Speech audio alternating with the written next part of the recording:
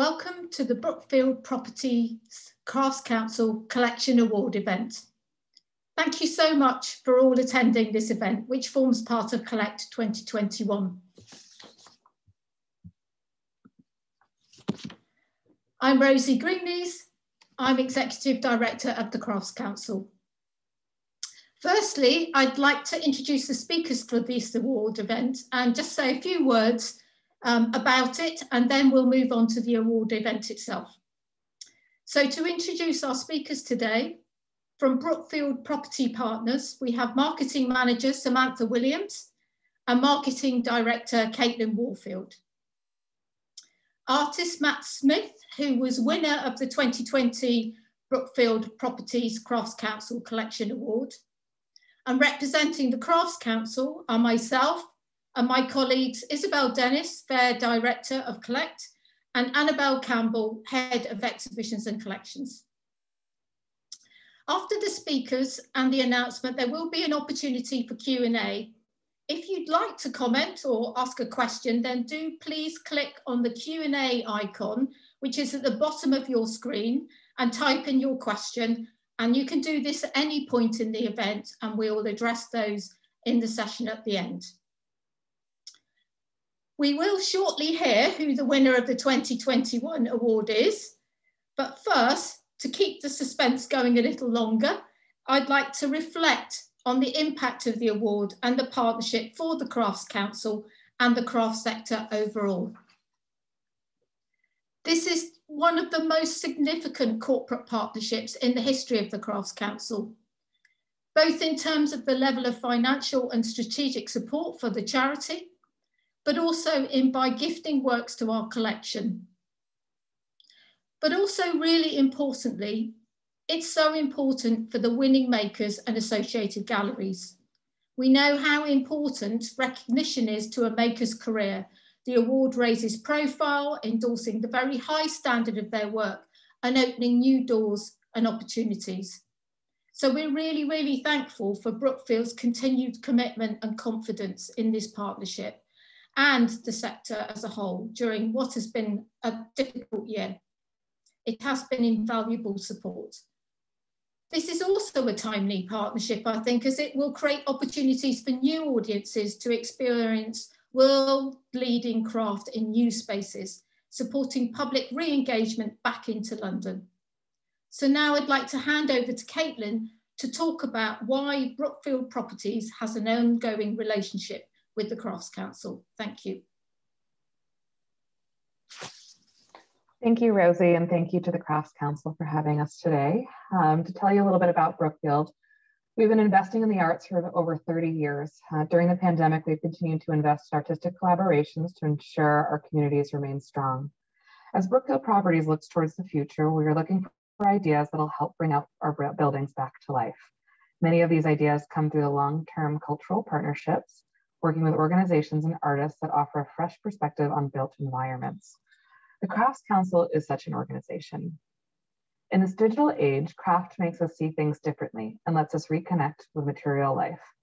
Craft is an accessible form of art that focuses on the quality of physical material and has the power to spark conversations and bring people together. Next slide. We launched the annual Brookfield Crafts Council Collection Award because we believed in craft and the Crafts Council and are delighted to continue our partnership in 2021. Um, here you can see a selection of our work in the previous years. And now I'm going to pass to Annabelle Campbell, curator for the Crafts Council.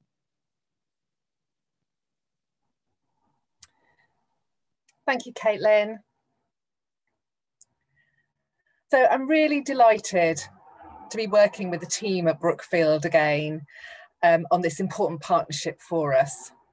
The award is of huge value and benefit to the Crafts Council and to the collection that it holds. A collection documenting a snapshot of UK contemporary craft practice since the 1970s. One of the reasons that the Craft Council has a collection was the acknowledgement that acquiring work from makers provided support and advocacy, and that resulting in the growth of a rich visual document and the public resource for makers and audiences. Acquisitions of this scale enable public collections, particularly contemporary ones, to remain vibrant and relevant. And what it does is position the acquired works within a wider historical canon through the context of a national document of practice, and importantly, ensure that by being purchased for a public collection and being held in the public realm, they're accessible for generations to come. In addition, with a a curated Brookfield Properties Crafts Council exhibition, not only are the new acquisitions displayed in the heart of London to those audiences, but the exhibition is an opportunity to display the purchased works alongside work drawing from the scope and breadth of the winner's practice and creates significant exposure for both the maker and the associated gallery. So together, the financial support from Brookfield Properties uh, in purchasing the works and with the award being embedded within and specific to collect, it actively evidences the critically important role art fairs play in collecting for national public resources, which is often overlooked. Also, evidencing the equally important roles that the artist galleries have in supporting both makers and collectors. And by that, I mean including public collecting. So this award is unique. It's not purely about the purchase of work or about commissioning or about an exhibition, growing a collection or celebrating the maker's practice. It's about all these things. The partnership and collaboration have always been at the centre of the work and values of the Crafts Council. And the Brookfield Properties Crafts Council collaboration extends the way we work to the maker and the gallery to present the work in an exhibition context. So I'm really delighted to pass over to Saf, the curator for Brookfield Properties, who I work closely with on this award programme, and she will explain how the award process actually works. Thank you. Thanks, Annabelle. Hi, everyone. So I'm just going to talk through a little bit about the award process and how Annabelle and I work um, together collaboratively on this kind of curatorial process. So um, Annabelle, as a kind of representative um, for the Crafts Council, makes a long list of artists from Collect. And then from that list, we shorten it down to um, a selection, which I'll run through today. Um, and then after an artist is chosen from this uh, selected group, uh, we go about purchasing works specifically that they've made for collect and or discussing the possibility of a commission of their works um, and these particular artworks, as Annabelle said, eventually go into the Crafts Council's permanent collection. So this is the acquisition part of the award. But before they get to um, be kept by the Crafts Council, Brookfield Properties is lucky enough to be able to show fantastic works and present um, an artist exhibition in buildings that we have here in the City of London. Now, last year when we showed Matt Smith's incredible um, works that we purchased from Cynthia Corbett Gallery at Collect, we then went on to curate a bigger show together collectively with um, Matt that was more of a sort of retrospective of his work and, and a bigger body, um, which we showed at our space 99 Bishopsgate here um, in the Square Mile. And this year, the winner will be showing their work at 99 Bishopsgate and also at our second space, Aldgate Tower, which we're really excited about. So that's a little bit about the process. Next slide. And when we're making, uh, Annabelle and I sort of talking about this, the selection of possible artists, um, we're considering these nine criteria. And I won't read them out to you because you can obviously see them on the screen, but essentially we have a kind of dualism between what the crafts council are after and who what artists they've been lusting after and really excited to add to their collection. And also from my perspective as a curator of brookfield properties what suits our space what excites um, our tenants and our community that we have um, across unique spaces, which obviously our receptions were not designed as exhibition spaces, but they've turned out to be wonderful exhibition spaces as they are open to the public 24 7 um, and uh, anybody can come and visit them. So we're really looking for makers that are saying something significant, um, works that are um, demonstrating excellence in practice and that are part of adding to the ongoing narrative and story of contemporary craft in the UK. Um, we're looking for unique pieces, something to add to the permanent collection, and something that will be bold um, from my perspective in scale, color, and form. uh, that will, you know, really sing in, in the spaces that we can show it in the city. Um, so that is me. Um, I'm now going to hand back to Annabelle Campbell. Next slide. Thank you, Seth. So I'm just going to say a little bit about last year's winner. So Matt Smith was a really worthy winner of the inaugural Brookfield Properties Crafts Council Collection Award in 2020. And he again was selected from a really impressive range of makers and making that was presented at Collect last year. But Matt's work really stood out for this for us for a number of reasons. So his work demonstrates both quality of making and thinking. And the development of his work from Parian to the inclusion of textile techniques really demonstrated a shift in practice that the Crafts Councils really seeks to document within its collection. Matt was awarded Object of the Show at Collect in 2018, and prior to this in 2014, he was awarded the inaugural Maylis Grand Ceramics Prize. Between 2015 and 16, he was the artist in residence at the V&A. And then this, this award followed um, a successful exhibition at the Fitzwilliam Museum in Cambridge, and then was just a precursor to a, a really um, exciting show at the Pitt Rivers in Oxford. So it was a perfect moment to to really add Matt's work to the collection about that marking a kind of really critical, significant moment. So throughout his practice, Matt is equally researcher, curator, maker, historian. Matt's work serves to intervene kind of historical and organizational narratives, kind of exploring and revealing those kind of untold stories and using material and process along with visual references and forms to embody these kind of disrupted stories. Now, through the award and the subsequent acquisitions, his work can serve as a kind of provocateur within the Crafts Council collection.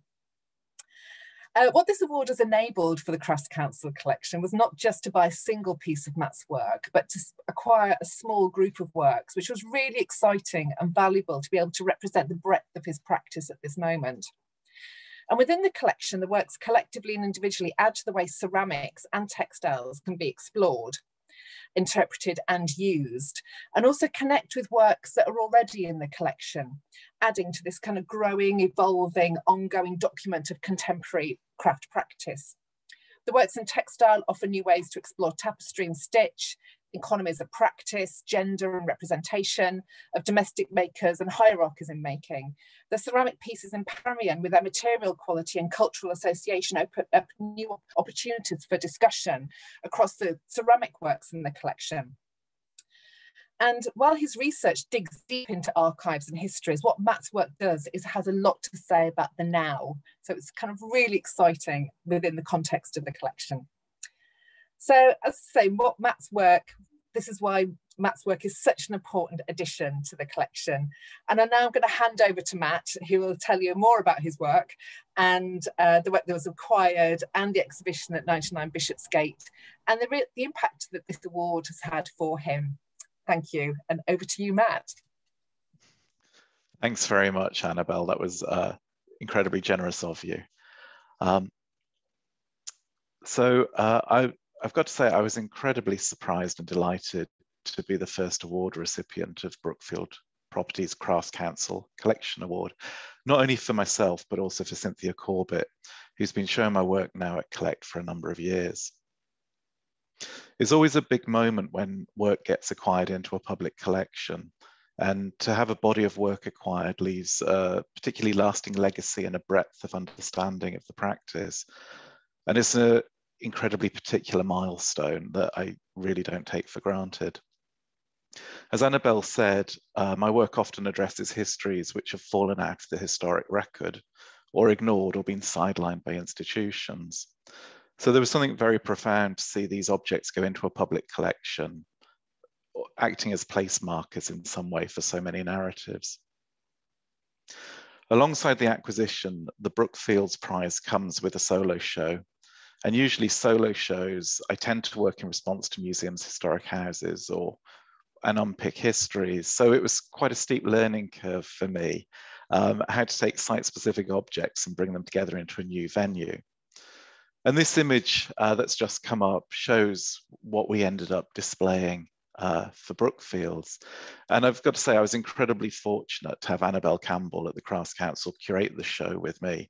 And whoever wins the award tonight is in for a real treat. Uh, the Crafts Council and Brookfields absolutely support what happens next. And the process has been a real joy for me to be a part of. We decided that works that had been acquired into the Crafts Council collection should be shown with other works that I'd made over the last 10 years. The acquisition by the Crafts Council included Parian West ceramics, Parian with uh, found materials and pearls, and also reworked textiles, something that had shown at Collect for the first time last year. The exhibition at Brookfields was also an opportunity to frame up and display by far the largest textile piece I've ever made and show screen prints from the current exhibition, Losing Venus, that Annabelle mentioned that's at the Pitt Rivers Museum in Oxford. Working with the corporate sector is obviously a, a, key part of the art infrastructure, but it was something that I hadn't really engaged with much before. And it was a fascinating uh, exposure and a really fruitful introduction to that world and the exhibition not only supported the sales of a number of work, but it's led on to potential commissions and some introductions to some really incredible writers and curators. I'd really like to congratulate all the finalists this year. It's always humbling each year at Collect to see that you're showing with such a wealth of talent and that each of these five artists that have been shortlisted, something in their work has made them stand out and that's a huge achievement. Congratulations to all five of you. But kind of that's enough from me, I think. I'm going to hand over to, back over to Brookfield and uh, for the bit that we've all been waiting for tonight. Thanks very much. Thank you, Matt. Um, such a pleasure working with you, and uh, I'm sure we'll right. continue to right back at you. okay, so I have the pleasure of briefly talking through the 2021 Brookfield Properties Craft um, Council Collection Award shortlist of makers. And um, I'm going to start by just um, with um, Marcin Rusak's work, who you can see here on the screen.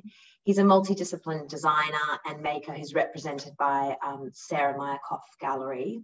Polish born and London based, he blends waste material, um, natural waste materials with resins, retaining the echoes of their past lives, making new objects um, that span use, function, and scale. The collection of works that um, are going to be presented at Collect include perishable vessels, such as the ones that we see here on the screen, as well as furniture sculptures, um, each an embodiment of the material excess and waste in a new cycle of life.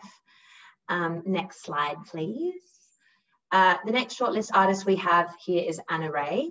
Um, she's a textile artist represented by House on Mars. Um, working in textile materials and processes, she spans stitching, printing, and fabric construction, combining with sculptural forms and bright splashes of colour. Anna's work blurs the boundaries between two and three dimensional forms of art. And some of her pieces are painted or stained, um, like canvases in relief. She's a graduate of Edinburgh College of Art and where she was encouraged to work and push the parameters between craft and art. Next slide, please. Next, we have Elliot Walker, um, who's a glassblower and sculptor represented by Vessel Gallery.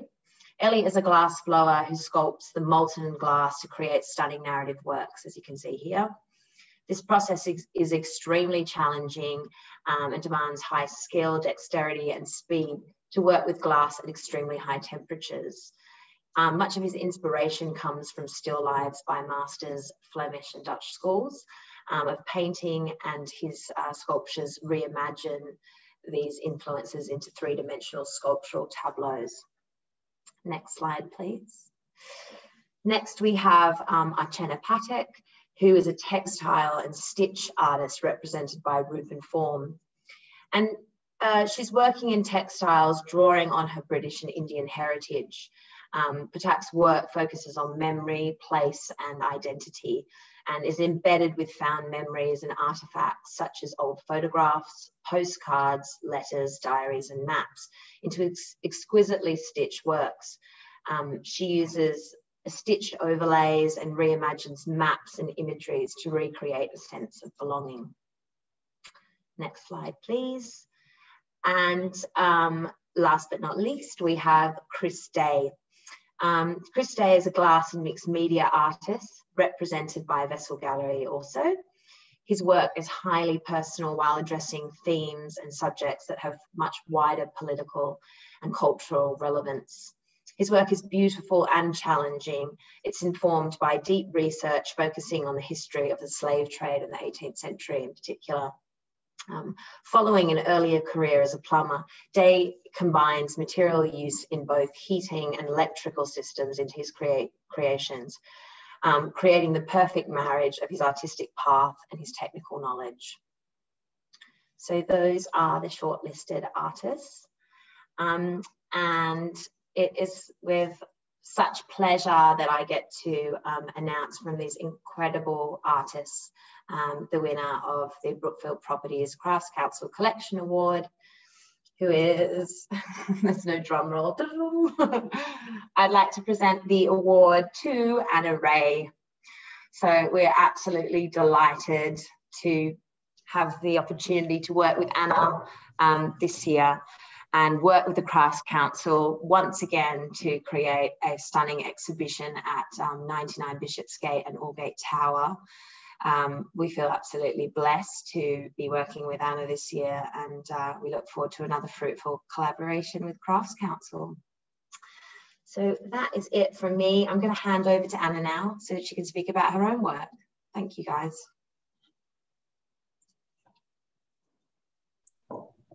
Thank you so much. I'm so thrilled to be this year's recipient of the Brookfield Properties Crafts Council Collection Award. I'm incredibly grateful to Vanya Bajul at House on Mars Gallery for inviting me to show with her. Congratulations, Vanya. I would like to acknowledge the other shortlisted artists who have created such inspiring and extraordinary work for this year's show.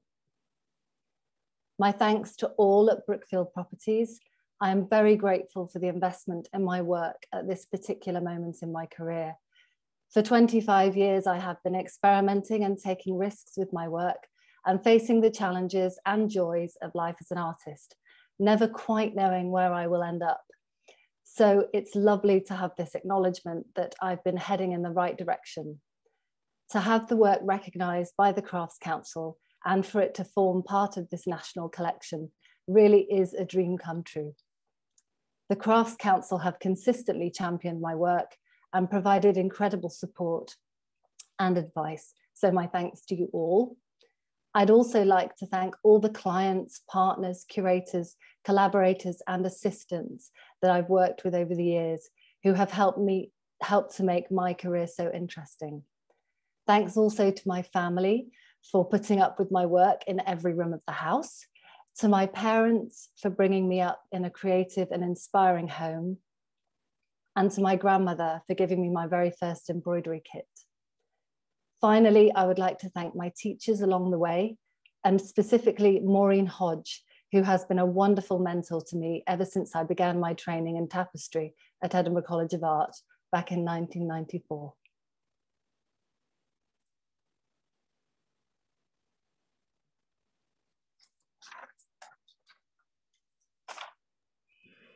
Hello, it's Isabel here. I'm the Fair Director for Collect. Anna, I'm going to do a real woohoo! Collect for you. I'm really missing that celebration and clinking of glasses. And yeah, we should all be doing this. That's fantastic. well done, you. Really, really brilliant.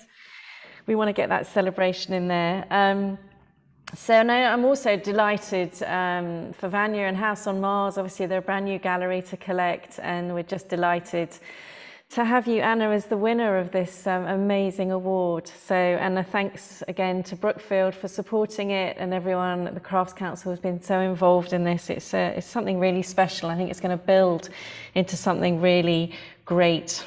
So, there are a few questions coming through. So this is, uh, I think, this is a question for Safan and uh, Caitlin. So how did you ultimately select um, Anna as this year's winner amongst such a strong shortlist? And it was an incredible shortlist. Um, I, will take that one. I, as um, Annabelle and I sort of reference, yes, it was such a strong group. I think as, a, as I tried to kind of suggest in the criteria and our, our sort of marriage and collaboration with the Crafts Council, there's two things going on. You know, the Crafts Council um, uh, adding to their collection and, and trying to build um, such a beautiful permanent collection. And, you know, from Brookfield Properties perspective, we started collaborating with the Crafts Council because Collect has just shows such incredible artists, as was shown by that um, shortlist, that we thought it was a great way to reach some of these artists and um, to, think about how we could play with our spaces um, in an exhibition format. And I think, you know, as I mentioned, our spaces are not specifically gallery spaces. They're big, bold reception areas that have such potential to, to show um, artworks to a wide range of audiences, which is why craft fits us so well. And I think when I saw Anna's work, um, it is so bold. I love the softness, how it, you know, reaches out to you. There's also something about the you know, feeling like being at home and creating a kind of sculptural piece that is built built up of many elements. You know, when you think of weave, it's a huge piece, but it's made of kind of individual um, smaller sections.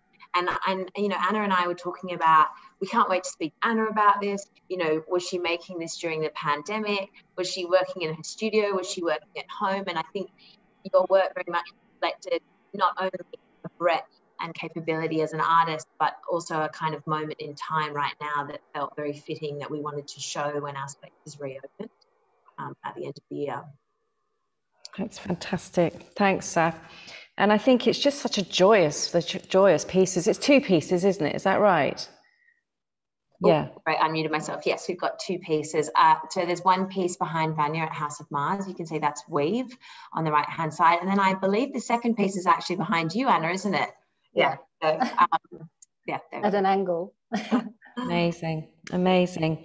So um, another question is, um, can Anna? This is one for you. Can you explain how you joined for, for, uh, forces with Vanya? How did you meet, and that connection to Collect itself? So Vanya, maybe I don't know. Anna, sorry, I said it. Whoever, either of you. Vanya.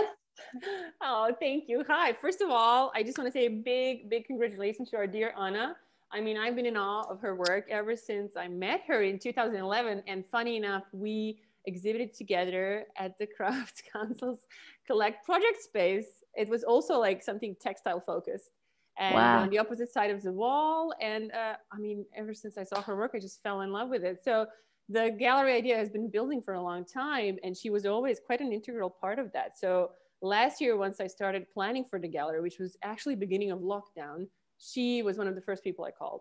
And um, funny enough, you know, you have the gallery that is kind of built in lockdown and the work that was made in lockdown, which is just incredible. I mean, what a crazy time, what an incredible time to kind of be commemorated uh, this way. And also, thank you so much for kind of, I mean, our first time at Collect this year to get this incredible acknowledgement. I am just uh, beside myself. I'm going to be pinching myself for a while. This is not real.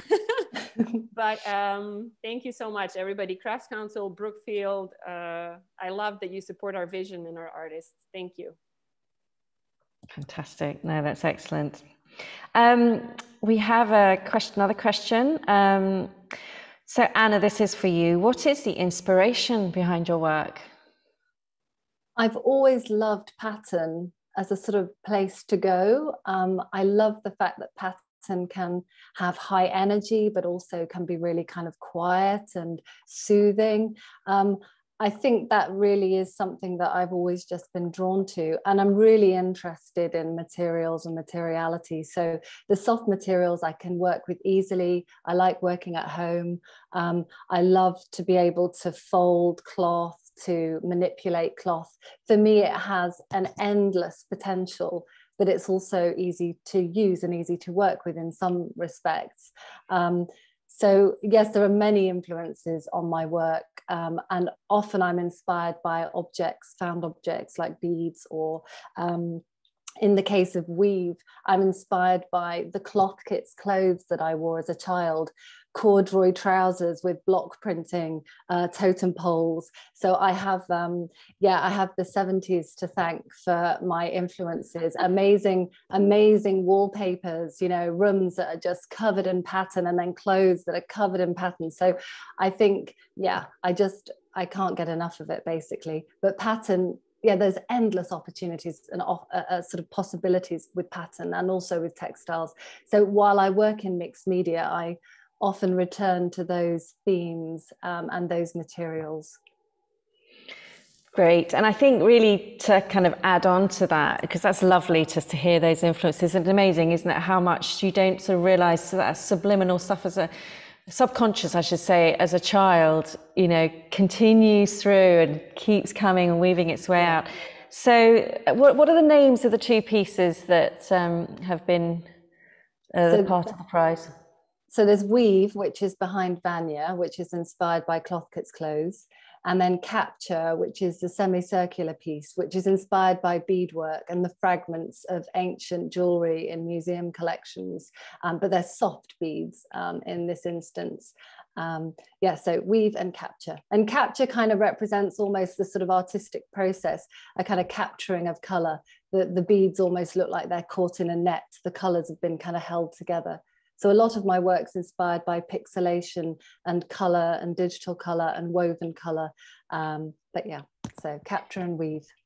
And were you working on these during lockdown? I mean, how, you know, yeah. you've obviously had such joyful color in your work anyway and, and motif and but how, how, is, how have you maintained that amazing joyfulness within it well i as soon as lockdown started um, i just uh, my lifestyle hasn't changed that much. I'm always in the studio at home essentially, but uh, uh, seeing people less. But I just sort of took it as a space to experiment essentially. And I just completed a large scale commission for Facebook London offices and just before the lockdown really, which was fortunate to kind of get the job done and then uh, find myself in the studio. So I just wanted to kind of open up and experiment. So Capture is really an experimental test piece. But while I was making it, people started making uh, rainbow pictures to put in their windows to mm. say thank mm. you for the NHS. Yeah. And coincidentally, I suddenly realized, oh, I've sort of made an upside down jumbled up rainbow here. I mean, it was just strange. So whether I was just channeling, I don't know. But um, certainly, probably trying to calm myself, you know, by playing and looking at color and kind of, I just sort of feed off it. You know, I just love handling materials, and also I like getting in a bit of a muddle with my work, trying something, and I'm sort of like, what? What are you doing now? But I quite like that kind of complication. So I'll tie myself up up in knots and experiment with different materials and just see what happens. So it's a very much an open uh, space uh, when I'm in the studio working on brand new things. Um, uh, did you find you sort of almost had more time to do to do it to be contemplative? No, because I mean I'm one of those people who didn't read poetry in lockdown. You know, I've been so busy. I think I've been busier than any like I've been busier than ever before somehow. So I just sort of went into the work, you know. But I have been preparing for a solo show, which has now been postponed. And so I was just kind of like, right, get on, get on with it, you know. So yeah, I've just carried on regardless kind of thing with the news on in the background and my son at home with me and yeah but it was great. And then i finished capture and then i went on to weave which was a work that i had been planning for a long time and then it was just the right moment to do it. And probably that nostalgic thing with the color and thinking about childhood you know just there was something sort of about going into the color again with that work which they're very different in terms of the materials capture and weave but they they belong together because i literally went from that one to the next. So it's wonderful that they can stay together forever in the collection. Amazing, lovely narrative between them. What are you most excited about exhibiting your work with Brookfield? What's exciting for that for you? Just big white walls and space. You know, my studio is not very big, and I'm often making things and I'm thinking I can't actually install this until I'm installing it somewhere. You know, so I, yeah, give me a big white wall and I'm happy. So I'd be very excited to look through my back catalogue with the team and see what we can kind of put together some strange juxtapositions. And so that's really exciting because i have numerous pieces that have never been shown. So there may be some things to to pull out of the storage um, and and show for the first time and also works that have been exhibited before yeah and i think that's what matt found was just being able to bring all that work together and have that lovely kind of story it's, journey all that you know it's about amazing. Your, yeah i'm rarely i'm rarely speechless but i'm speech i'm a bit speechless at the moment because it's a bit it's a bit much it's a bit exciting and and for brookfield obviously this is a, a lovely new thing and a, and a, kind of relationship that we have with you. Um, and i was very aware last year not only was them wonderful with matt smith and, and um, cynthia corbett but you also purchased three fabulous um, tapestry pieces from Margo Selby that then is in another one of your buildings, which I think we should definitely be acknowledged, you know, as a real investor in this wonderful work. So can we expect this kind of annual um, output, you know, from you guys? Because it just feels like you're on, you know, you're on a real winner. And I know I shouldn't say this, but I think a lot of corporate companies sort of do the the, the easy thing, you know, the the big fine art whatever's. But I think what with this is is just you're really setting yourselves apart to do something so different. So what are you thinking on that? Caitlin. Um, I, can, I, can, I can take it a little bit. I think I mean I think one of the amazing things about Brookfield truly, and I, have worked at the company a long time, is their commitment to art and artists and how integral it is into our strategy of building space. Like we we build a lot of public space and, and that art is such a huge part of that. And you know, to just kind of stick a piece somewhere and not really think about it is is just not inherently what we do. Like, I mean, Saf has a curatorial background. You know, I my background's in theater. You know, we have a lot of artists on the the team and i think that that really being infused in that placemaking message as as we're we're going through it's really been able to lead us in working with great partners um, and that that really is key to it you know we we know as much as we know but we love working with partners and the crafts council has been incredible to kind of help guide us about you know what is you know what is great about craft and, and who we should be working with. And we loved working with Matt and we're really excited to work with Anna. So um, yeah, thank you. Thank you for all the work that you guys do as well. Mm. And I bet that you pre-vet it for us. Excellent. Yeah. yeah. No, I think, I think, I think our like, audience is a, because um, we have such a big community of different people coming through our spaces. You know, I mean, in a real sense the lights are always on anyone walking past can go in and look from the outside or they can be in the building or you know you've just got such a big cross section and um, one of the questions we often get asked is like why are you choosing the work you are and what's you know what's behind it and one of the fabulous things about craft is that you know you've got these high artists you know art proper or whatever you want to call it but um, the idea of craft, which is amazing for our audiences, is them to really delve in because you know they're not necessarily going to a gallery; they may stumble across it. So not only are they understanding about the intention but behind the artist's work, but also about the medium and the making mm. and the mm, process. Mm. That was so fantastic for that because you know just literally from his tapestries, which were you know of a history painting done by an amateur group of um, you know a women's circle or something that made a tapestry tapestry that was then unpicked and made into a beautiful artwork by Matt. You know, there was an actual telling the narrative, the story of the making and, and a kind of craftsmanship as well as the artistic practice. I'm just about to talk, sorry. Sorry. So I think that that, you know, it, it's craft is a perfect fit for us. And I think a lot of people personally at home have been doing craft work as well. So it's nice to celebrate the kind of the small element in, in, in a big show, in an exhibition, in something fantastic. I think I think that's wonderful, and I'm I know we've thoroughly enjoyed working with you in introducing you to how fantastic craft can be, contemporary craft, and I think um, what a lot of people say about the fair itself is that it is very open, warm-hearted in, in, in its sort of the way people can come around and there's not this sort of, you know, you don't need to have a fine art degree to understand the work and people aren't sort of oh, don't you know that? They're like, oh, don't you know that? Oh, let me share that with you. Let me tell you more. Let me kind of, you know, there's a very, that's, I think that's what's so wonderful about it. And I think it's great that you guys are bringing that to an even uh, bigger and newer audience um, to share that with them. So I think it's fantastic. Um, I've got one last question, I think, for Annabelle, this one. Um, so, how have you seen craft evolve in the last few years? Um, and it's probably not just for Annabelle, it's for many of us actually. And have we noticed much innovation coming out of the pandemic? Well, I think Anna's work itself is a real inspiration.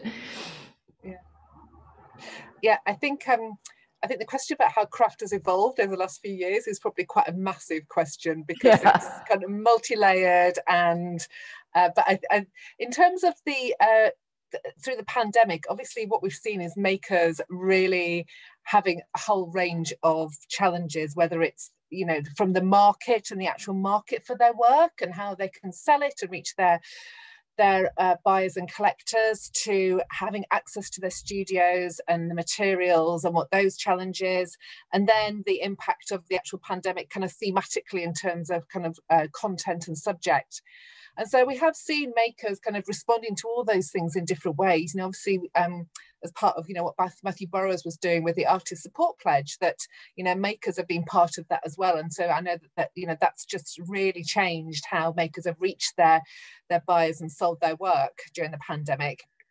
But also, you know, interesting how makers have, have made work differently, particularly around scale and access to materials as well.